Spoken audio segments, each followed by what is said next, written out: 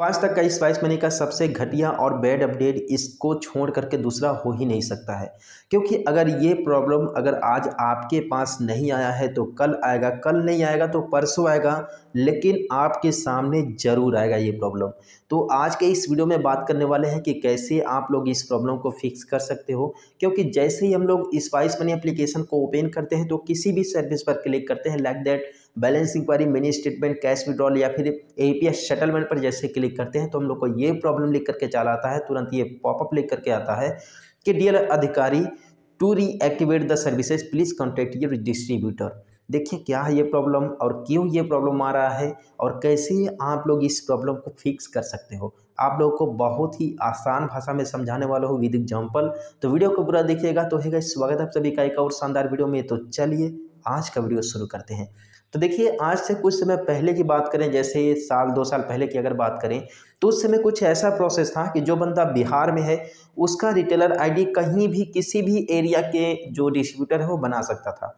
ठीक है? और उसे किसी का भी कोई ज़्यादा अप्रूवल की ज़रूरत नहीं पड़ता था, बहुत ही आसान था। जैसे अगर मान लीजिए मैं यूपी का बंदा हूँ तो मैं महाराष्ट्र के किसी बंदे का भी रिटेलर आईडी बना सकता हूँ स्पाइस मनी का, या फिर बिहार के बंदे का बना सकता हूँ। ठीक है, उस समय कुछ ऐसा प्रोसेस चलता था। लेकिन अगर आज आज के समय की बात करें तो स्पाइस मनी ने क्या किया है? हर एक डिस्ट्रिक्ट वाइज में अपना अपना एक एक डिस्ट्रीब्यूटर जो है, बैठा दिया है। और देखिए, अब मैपिंग का जो सिस्टम हो गया है, यही मेन प्रॉब्लम है। देखिए पहले होता क्या था कि जो जहाँ का है, वो कहीं और से भी रिटेलर आईडी ले लेता था। तो लेकिन आज के समय में देखिए, वो समय चेंज हो चुका है।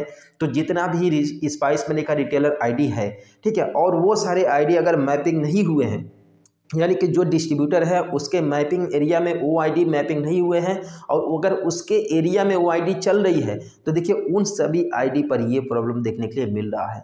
लेकिन अगर बात करें करेंटली में, जैसे करीबन छः सात महीने के अंदर में जितने भी रिटेलर आईडी लिए गए हैं स्पाइस मनी का तो उन सभी के साथ ये प्रॉब्लम देखने के लिए नहीं मिलेगा आप लोगों को, ठीक है? लेकिन जो साल भर से पहले के आई डी हैं सात आठ महीने पहले के आई डी हैं, उन सभी के साथ ये प्रॉब्लम देखने के लिए मिल रहा है। तो देखिए यहाँ पर फंडा ये है कि फ़िज़िकल वेरिफिकेशन का यानी कि जब आप कस्टमर केयर में कॉल करोगे या फिर ये प्रॉब्लम जो आ रहा है, देखिए फ़िज़िकल वेरिफिकेशन से रिलेटेड प्रॉब्लम आ रहा है। और ये प्रॉब्लम जो है, आप लोग का जो डिस्ट्रीब्यूटर है, वही इसे फिक्स कर सकता है। ठीक है? जब आप लोग कॉल करोगे, ठीक है? कॉल करने के बाद आप लोग उन्हें, आप ये प्रॉब्लम बताओगे कि मुझे ये प्रॉब्लम आ रहा है, ये कैसे फिक्स हो? तो अगला बंदा आप, आपके सिस्टम के, यानी आपके सेंटर के पास आएगा, आपके सीएसपी के पास आएगा, जहाँ पर आप लोग सी रन रन करते हो। ठीक है? देन फ़िज़िकल वेरिफिकेशन कर लेगा, आपका वहाँ से फ़ोटो क्लिक करेगा देन आप लोग का ये प्रॉब्लम फिक्स हो जाएगा। लेकिन यहाँ पर प्रॉब्लम ये आ रहा है कि जो डिस्ट्रीब्यूटर लोग हैं, वो लोग ये रिस्पॉन्स नहीं दे रहे आप लोग को, जैसे कॉल वगैरह कर रहे हो तो ठीक है, या फिर बोल रहे हैं, आएँगे आएँगे, लेकिन काफ़ी दिनों के नहीं आए हैं तो इसका क्या सोल्यूशन है? ठीक है तो देखिए यहाँ पर कुछ नहीं सोल्यूशन है, बस वो लोग आएँगे, आप लोग को थोड़ा वेट करना होगा, जैसे चार पाँच दिन छः दिन, दस दिन, हफ़्ते, दो हफ़्ते भी लग सकते हैं, क्योंकि आप लोग को तो पता ही है यार कि एक नॉर्मल से एरिया में स्पाइस मनी का बहुत सारी रिटेलर हैं।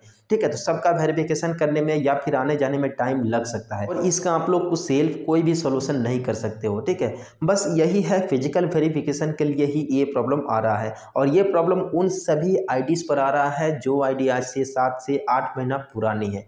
ठीक है? लेकिन उसके बाद से जो आईडी बनी हुई है क्रिएट हुई हैं, उन सब पर ये प्रॉब्लम देखने के लिए नहीं मिल रहा है।